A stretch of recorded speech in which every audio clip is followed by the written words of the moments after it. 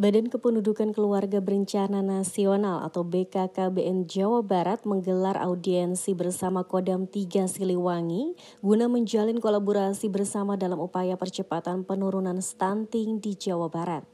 Dalam kesempatan tersebut, Kasdam 3 Siliwangi Brigjen TNI Agus Saipul mengatakan pihaknya siap berkolaborasi bersama guna menghentaskan stunting di wilayah Jawa Barat. Agus mengatakan kolaborasi seperti penyediaan sanitasi yang layak bagi masyarakat di pelosok Jawa Barat menjadi salah satu rencana yang akan segera direalisasikan. Sanitasi yang sehat menjadi sarana penunjang dasar yang sangat dibutuhkan masyarakat sebagai upaya bersama dalam menurunkan angka stunting di Jawa Barat. Dua, tiga, satu, dua, tiga. Ya, terakhir mau. Mau. Satu, dua, tiga. Bisa apa, Pak? Sekali lagi, satu, dua, tiga. Karena dari sana, sanitasi itu tentunya itu akan berpengaruh kepada kesehatan dari khususnya ibu-ibu hamil lah ya. itu pasti sangat berpengaruh.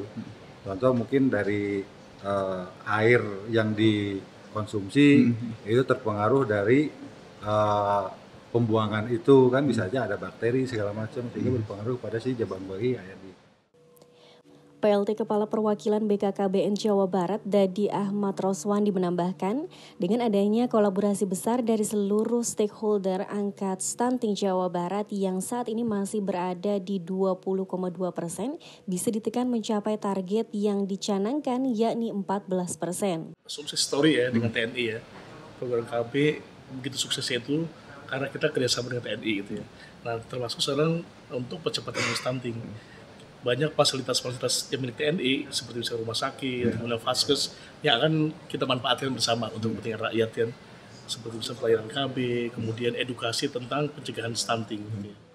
Fokus utama sendiri untuk penurunan stunting di Jawa Barat dalam waktu dekat yaitu Kabupaten Sukabumi, Tasikmalaya, dan Sumedang.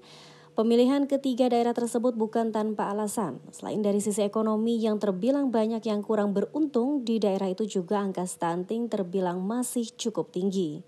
Dari Bandung, Jawa Barat, Narsono melaporkan.